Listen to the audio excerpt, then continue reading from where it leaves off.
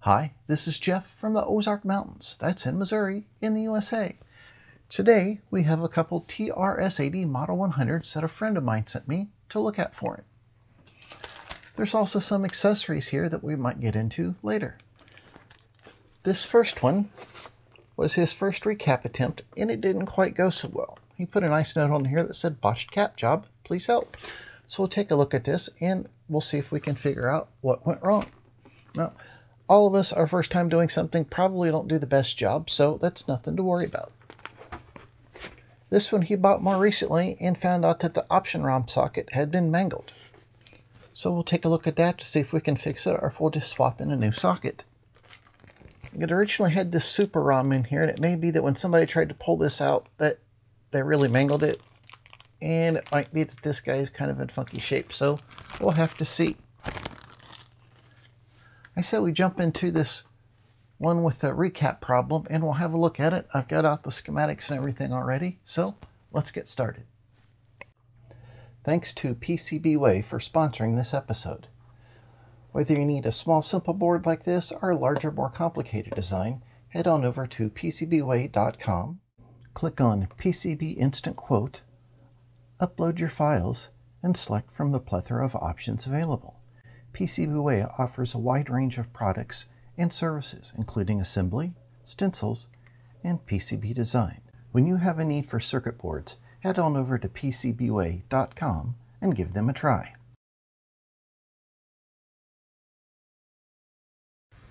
Okay, let's dig right in here. It looks to be in good physical shape. Look inside the battery compartment. There are some batteries in there already We'll go ahead and pop those guys out. Okay, looking in the battery compartment, that looks nice and clean, so I don't think this thing's had a big problem with corroded batteries left in it. And we'll pop open option ROM access, and that too looks good on this one. So we'll go ahead and remove these four screws here.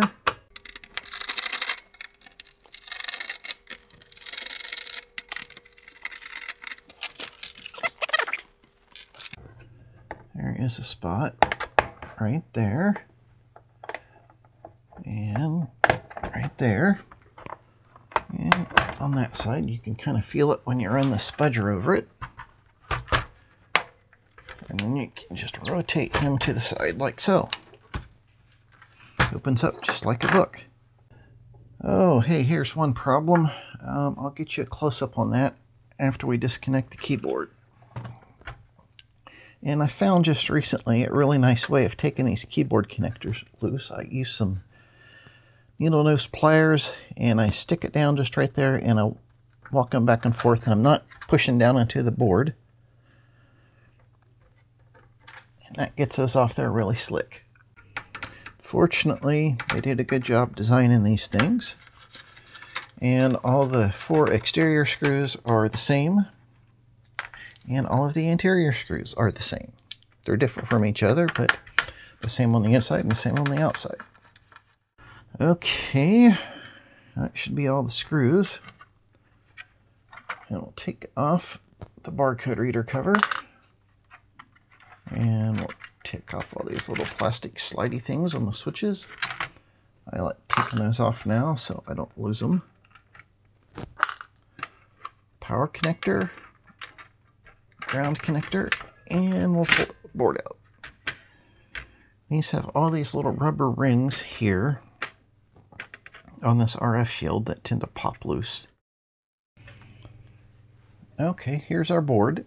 The first thing I noticed was that our memory backup battery is kind of floppy here. Looks like you tried to surface solder it like that by bending the legs out and that broke loose. Now I understand this because these are a pain to get soldered in there because they're such a huge heat sink. So we'll have to take care of that.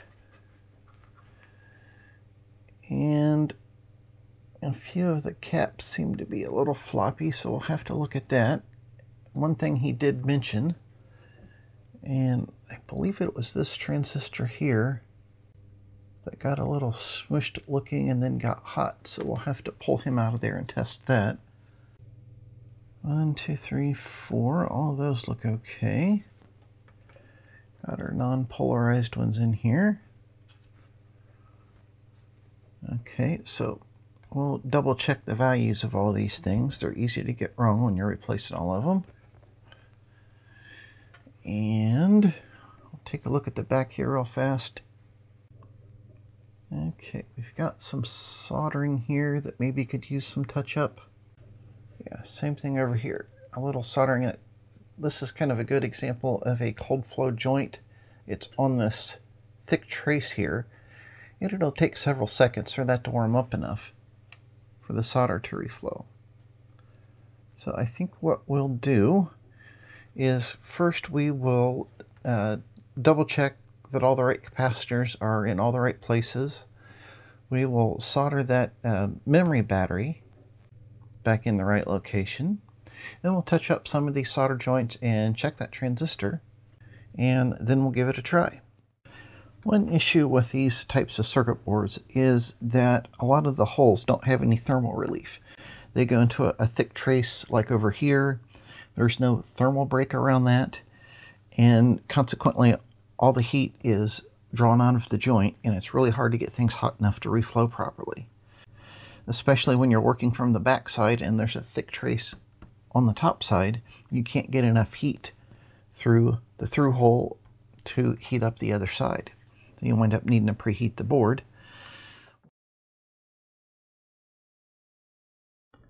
A thermal relief is where a pad is connected to a ground plane or power plane with spokes.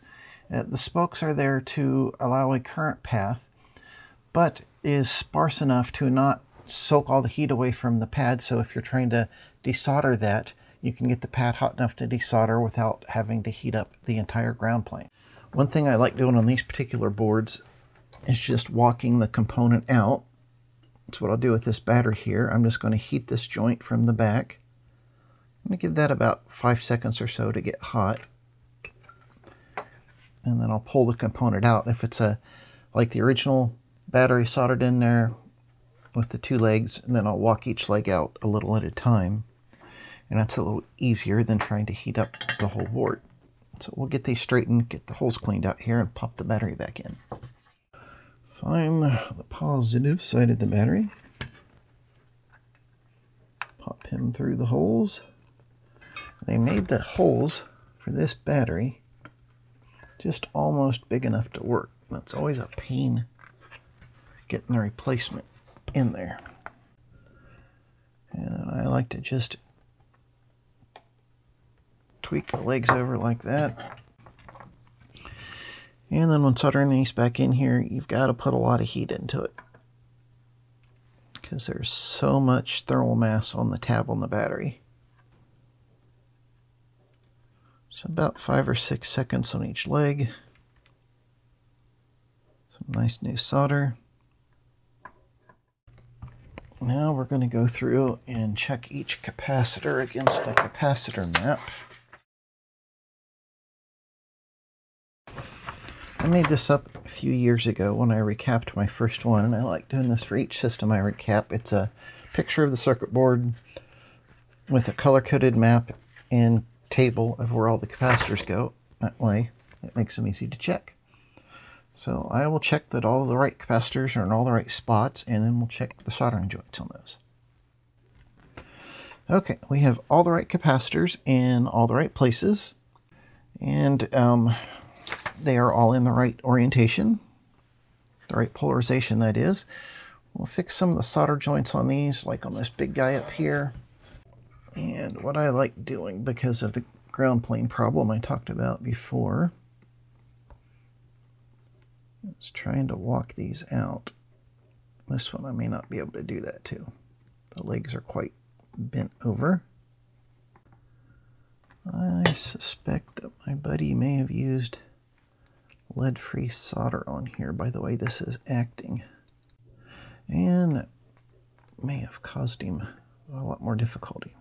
It melts at a higher temperature and it just doesn't play as nice as good old-fashioned leaded solder. I'm going to clean up the holes here. Yeah, for this vintage gear, I really recommend using good old-fashioned, you know, 6337 leaded solder. Clean up our holes now. Now on this, it goes in this orientation with the negative this way, and because I've done lots of these, I know that you can grab it about right like that, bend it over, and it should pop right into the holes.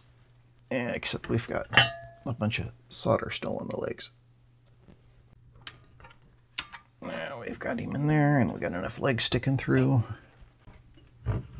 So I'm holding the cap from the bottom.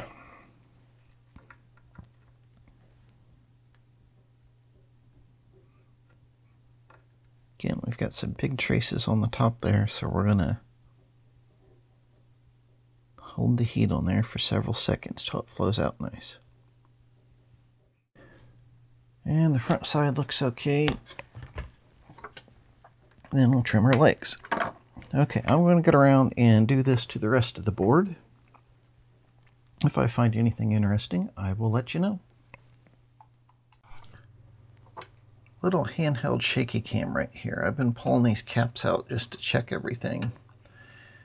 Whenever you see this sort of discoloration uh, from the cap having been leaking, I like to try to brighten that up with a fiberglass pin or a brass pin like this just to make sure you're getting all that schmaltz off of there. Clean it with some alcohol uh, and then solder your new cap in. So I'm going to go ahead and clean this up with this brass pin just by doing this. And I'll probably spend a little more time cleaning it up. You can see that the silk screen was breaking loose from there because of the leaking cap. But I'll do that over the rest of the board. A little more handheld shaky cam. This is where C85 goes. And as you can see, this is pretty chewed up under here. This always seems to be one of the worst areas on these Model 100s. This pad actually runs a signal over to the anode of this diode, and that's completely chewed up right there.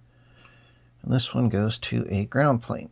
So there's probably enough trace left connected there that that's fine, but this we're going to have to use a bodge wire on the bottom to fix a little more handheld shaky cam. Uh, you can see I've had to add a few jumper wires on the back to take care of some torn pads and that type of thing. Uh, there's some more over here. This is some of the uh, little 10 microfarad capacitors that have a big ground plane on the top side of the board and they are very difficult to desolder from the back. There's some of the ones I like to walk out. And this kind of glob right here is an indication of that. It's just hard getting the joint warm enough to desolder or solder. And I think this is probably also a lead-free solder. So I think this is the last area I have to touch up. I'll do that and then we'll see if it works. I pulled the transistor out that the owner of this Model 100 said got hot, and he said it got kind of smashed down. So I'm thinking perhaps some of the leads were just shorted together uh, we'll test it here on the component tester and we'll see what it says. Well, it's recognized it as an NPN transistor and it says it's okay. So we'll go ahead and solder it back in there and we'll check this board out. I'm sure you can hear the bench power supply in the background. I've got it set to output 6 volts at 100 milliamps. It's a good way to test things uh, with the current limiting on. That way, if something goes wrong, you have less chance of doing damage. And we'll just go ahead and see how this works. Usually when you turn it on, you hear a little pop from the speaker. And we're drawing about 70 milliamps from the power supply, which is about right. And I do see something on the display. And I know you can't see that. Oh, It's got a real funky spot in the adjustment pot here. Okay, here you can see the LCD, and if I... Oh, of course now it's not going to mess up when it's on camera. You can see how the display is garbled. The clock is counting so that it's running, but previously when I was playing with the ribbon cable, it was flipping out. And the contrast adjustment pot has a real flaky spot in it there. Plugged in another LCD and I had the same exact problem and I noticed that this pot here for the LCD contrast seems awfully loose or maybe it's just the knob but that was making the whole display flicker in and out. I don't know. I'll try hooking the display to it without the knob on it. Then we can kind of just poke on the pot itself to see if it's the pot or maybe it's in the board right there. We'll see what happens. The display is coming in and out, so I think we have something up with our contrast pot there. So I'll try reflowing the solder joints and we'll try it again. This one's being kind of a mystery as to what was going on with the graphical corruption on the LCD, so I decided to get out the Auto 100 Model 102 test harness, which a fellow on the M100 mailing list came up with. It consists of this ROM board, which has a flash chip to replace the ROM and an LCD, so even if the main LCD isn't working, you can get some feedback. There's an interconnection board back here which all of your I.O. hooks to. The serial port, the printer port, the cassette port, and even the barcode reader port. Also run a series of tests, and you can even write your own custom test if you're into that sort of thing. And it's showing a failure in two places. We're going to ignore where it says the LCD initialization test is failing because we don't have the main LCD hooked up. And where it says FH0, this is a memory test. We only have one memory module installed, which is this one, and that's passing. That's the LCD initialization test. It's okay that it's failing. So it's just checking the clock value and waiting a little bit and checking it again, and the clock increases, so the clock is okay. Checking some other signals. Checking some more signals. This is a serial loopback test, and you see that's failing. The system bus is passing, which is the one I was worried about. That's kind of like the main bus on the machine brought out to the outside world. That all seems to be okay. This is the printer port, the parallel port, it passes. That's the barcode port. There's nothing in the option ROM spot. There's no keyboard connected, so we're not going to check that. Now that right there, that was a cassette test. It clicked the cassette remote relay and then shut off, and it's not supposed to do that.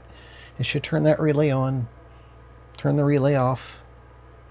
I think it turns it on a second time, turns it off a second time, then it goes on to other test. And that's shutting off. And there's only one chip that the cassette relay and the serial port have in common. And that is M34 right here.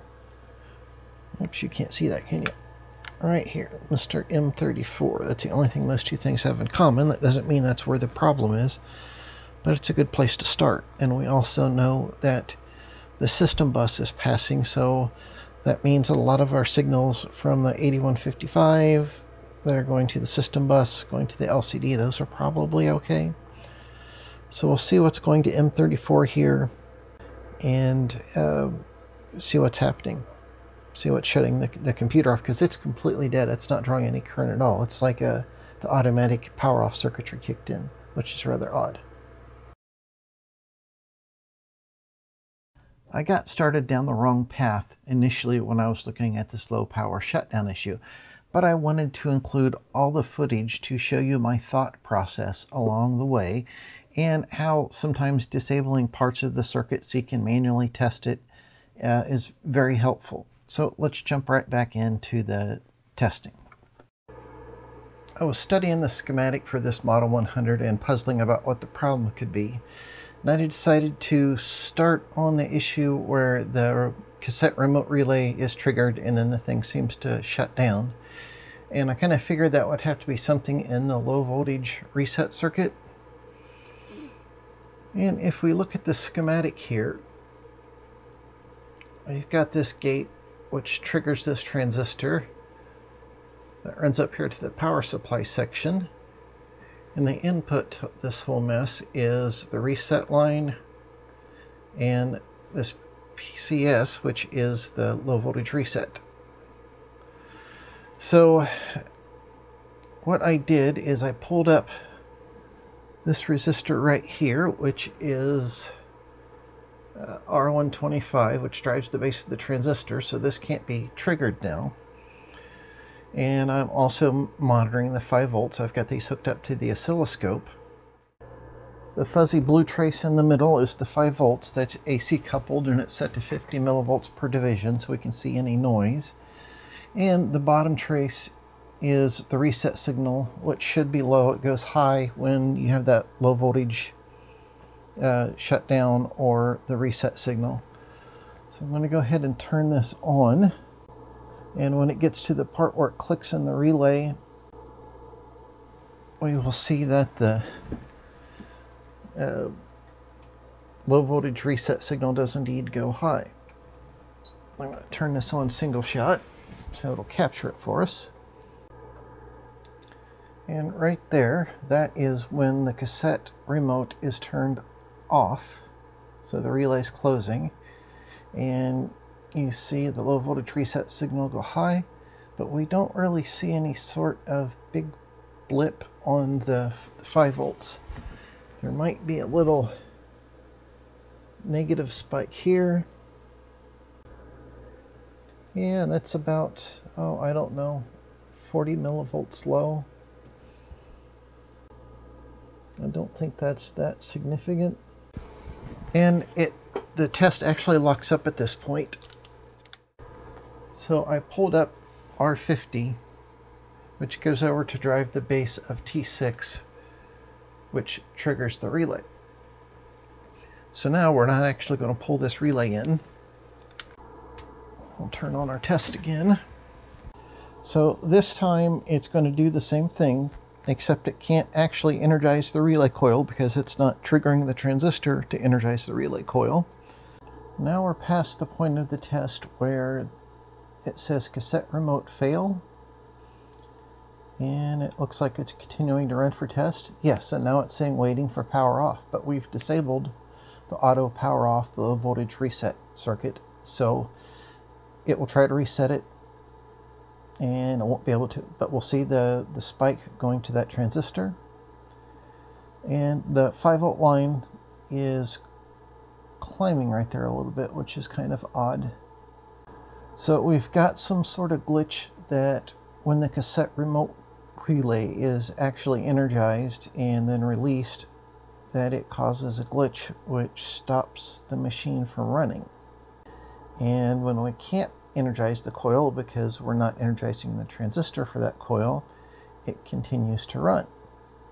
So I don't know if that means it is in the power supply section, which is a possibility, or if there is a fault with the relay, but why is it when the relay is released? When the relay is released, it will cause a bit of a spike. There's a diode snubber across it though, which should help with that problem. I'm not sure yet. It's quite curious.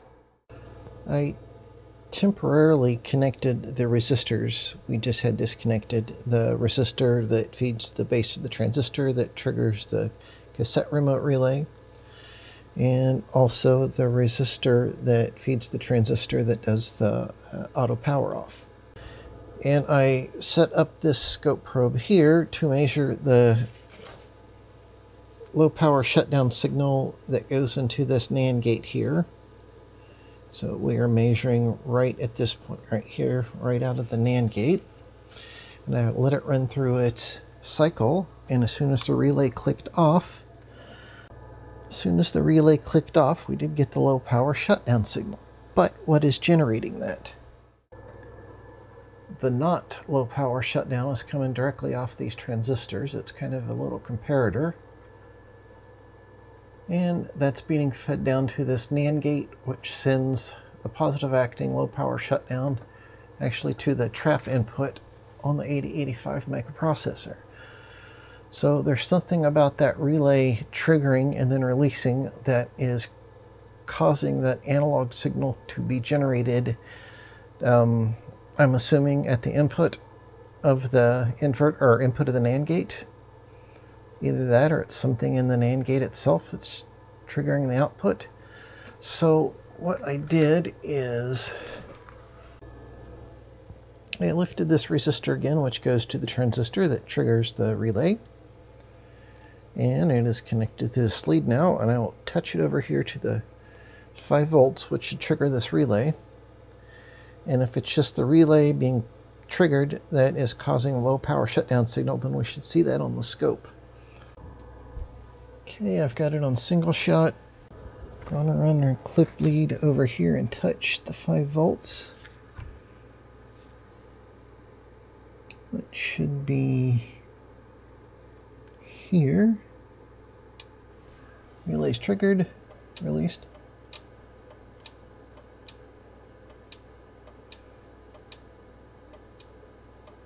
There's nothing about me triggering and releasing the relay. It doesn't seem like it's the relay itself or the transistor driving the relay.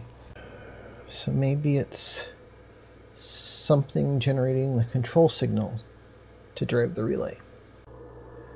When we are manually triggering our cassette remote relay by lifting this resistor on this end and applying 5 volts there, we could trigger and release the relay to our heart's content, and the computer ran along merrily. But you see that transistor is driven by this inverter gate on M34, which gets its signal here from not remote. Not remote comes from M14. So what happens if we apply ground directly to the input, that's pin 3 of M34. Note this pull-up resistor here. So we have to pull this line low, that is to ground, to trigger it. That would be simulating exactly what the computer is doing. So let's see if that causes a problem. I'm Going to start up the test here, and it doesn't matter what this is doing. It's going along its merry way. Make sure we've got our resistor connection here. We'll M34 pin 3. Trigger the relay a few times. And look at this. Our LCD stuck. The computer's actually stopped. So there's something with using M34 that's causing a problem. Interestingly, M34 is also used here on the RS-232 circuit as well as in part of the LCD circuit. So maybe all three of these strange failures have to do with that one chip. Uh, right now I have no better idea, so I will grab a chip out of the parts donor board and we'll try it out. We pulled M34 from this board and swapped in the M34 from the other board. And since it was a pulled chip, I just soldered directly into the board. That way we don't have any problems with the pulled chip not wanting to plug into a socket nicely. And lo and behold, it ran all the way through the test just fine before it tried to power the system off at this point. Now it still didn't power off because I have this resistor here pulled. I'm going to solder this resistor back in and we'll hook up the rest of the test harness and we'll see if that took care of our other problems too. Silly me, when I pulled M34 from the donor board, I also pulled this transistor. Remember the transistor originally in this place, the owner said had gotten really hot at one point, and although it tested good on the component tester, I still wasn't quite sure about it. So I changed out both at the same time, And then we tested it and everything seemed fine. I hooked up the rest of the test harness and as soon as it triggered our cassette remote relay, it died again. I was very, very confused. And then I noticed that with the rest of this test harness hooked up, you know, all the, this additional board with the LEDs and chips and all this type of stuff, that it was showing it was drawing about 20 milliamps more on the bench power supply. So what was happening is that it was already about 80, 82 milliamps in this configuration. And as soon as that relay cl clicked in, that was over 100 milliamps. The power supply went into uh, constant current mode, the voltage dropped, this went into under voltage, and it quit. So the original problem when we were testing without the additional test harness hooked up with just the ROM board was that this switching transistor was not up to the task. So changing that fixed the original problem. I bumped up the current limit on the power supply and it will now run through the relay test just fine. We still have a problem with the serial loopback test. It's not receiving the correct data. And we still have the graphical corruption issue on the LCD. And I'm going to start looking on the LCD with the, all the chip select lines to make sure they're all getting from the 8155 up to the LCD connectors. That's what we'll do next. A little handheld shaky cam here. This is the unit we're working on and this is a known good unit. Uh, what was happening with unit we're working on here wasn't making sense so I started measuring the various bus signals with the oscilloscope I saw a few signals which didn't look right, so I got out a known working unit as a basis for comparison. And I'm using a little jumper lead here to go from uh, AD2, address and data line 2, doing the same on both. Uh, the yellow trace is this working board, the blue trace is this non-working board. And looky what we have here. The little spike here is nothing to worry about. The address bus on the 8085 microprocessor is multiplexed. So as it's kind of changing states, latching the address out, you'll get little spikes like this. It's nothing to worry about. However, this little stair step type of thing uh, is not normal. That is a good sign of bus contention. And I found that on 82, 85, and 87. And then I got to wondering, I was like, well, hey, if there's bus contention, I'm probably drawing some more current. So I looked at the amount of current. When you start it up, it'll draw about 62 milliamps. And then it'll drop down after a little while. Whereas the working unit will draw about 46 milliamps.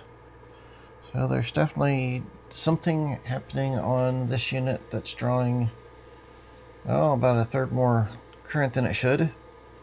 And it's causing some bus contention, but there is a lot of things on that uh, address and data bus. And the interesting thing is, I can show you here on the schematic, address lines 0 through 7, this is address and, and data, come out to M2 here, where they're latched out, and this goes to most things, but they also go to M1, where they're latched out as the address lines. So you have M21, M1, latch out and buffer the address lines. And M2 is our data lines. And if we measure address and data here, it's not messed up. It looks the same on both boards. On this side, it is messed up, so it's something on the data bus, but there's a lot of things on the data bus. So, um, yeah, you know, there's ROM and RAM, uh, all sorts of Glue Logic ICs, You know, we've got the LCD disconnected, so we know it's not that, but we know the LCD is good. We have to figure out maybe what's unique to the three lines in question, AD 2, 5, and 7, which is probably everything. And uh, then try to make an educated guess as to what chip might be hanging it up. Them are getting particularly warm. And it's kind of amazing the computer's actually working as good as it can. It's actually amazing. It's yeah, it's really early. I woke up about two o'clock this morning. um, it's amazing the computer's working as good as it is with this sort of problem. So the big problem we have here with the data lines having the, the signal coupling is what it looks like, or two things are trying to drive the bus at the same time. There's some form of contention, is that there's so many things on the data bus.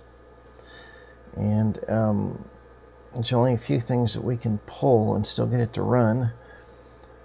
One is M15 here, which is the latch for the keyboard. We can pull that and it'll run without it. And we can pull M23, which is a similar latch for the RS-232 stuff, it looks like. So it may still run without that. Um, other than that, the, the RAM chips themselves tend to fail quite a bit. Uh, so we could pull that, put in some socket strips, and I've got some non-good RAM modules we could pop in there. So it's kind of a conundrum. It could be contamination on the board somewhere. Um, trying to measure, you know, the resistance between the traces, the traces and ground traces in VCC don't reveal anything. So it's kind of a conundrum. I changed my mind in the order I was going to do things, and I gave the board a good wash first to get rid of all that nasty flux. I had that cause me a big problem in the last few days on another machine. So I got rid of that first, and of course it didn't solve this problem. So the first chip on the data bus I pulled was M15, which is the keyboard buffer. And that didn't do anything, but the computer will run without it. The other thing on the data bus the computer will run without is M23, which is also on the data bus. It's another latch. So when I pulled M23, I saw this. You see we still have this little spiky bit here, which is fine. That's just when the uh, address slash data bus is latching because it's multiplexed. But we don't have the bus contention anymore.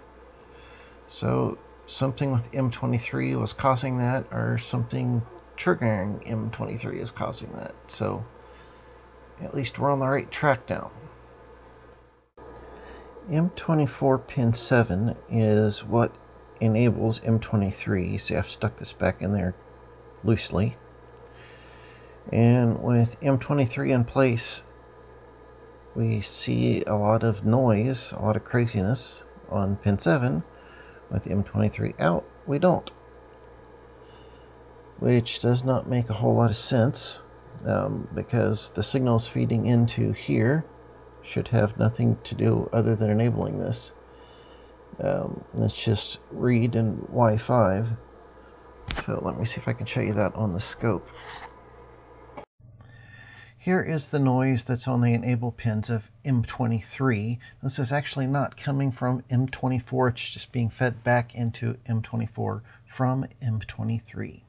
As, as a bit of a secondary test, I took M15, which is a 40H244, same thing as a 74HC244, from M15, and I moved it to M23, which is the same chip, and I held it in place powered it up, checked pin 7 of M24, and lo and behold, there was no crazy noise. So the problem indeed was M23.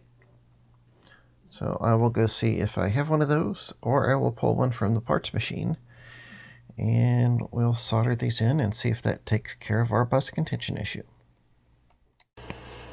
Okay, the original M15 was soldered back in, and I borrowed a chip from the donor board and I soldered in here in place of M23. And I've got all this hooked back up and as well as the full test harness. And one thing I will say is that with the bad chip replaced, it draws 20 milliamps less, just like our other good board that we were testing with. Now I'm going to turn this on and or back on actually and let it run through the test procedure one more time. Uh, and then we'll put it back in the case and test it again before calling it good.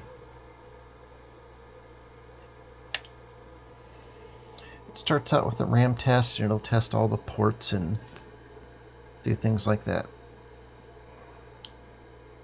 Oh, one other thing I did was uh, I replaced this header strip right here. The one that was in here had a couple spots messed up with solder, so I pulled one out of the donor board. And I still need to double check that this pot is going to work okay. If not, I will swap in that from the donor board as well.